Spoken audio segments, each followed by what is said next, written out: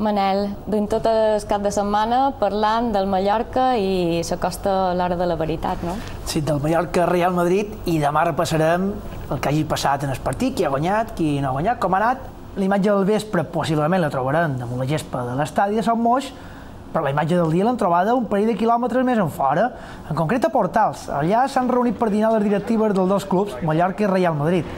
Si bé aquestes trobades es fan cada setmana els dirigents dels equips, aquest dinar té transcendència perquè és el primer de Florentino Pérez amb el nou propietari del Real Mallorca, Llorenç Serra Ferrer. La trobada ha tingut també altres convidats, al marge dels directius, com per exemple l'empresari hoteler Gabriel Escarrer, un dels patrocinadors del Mallorca.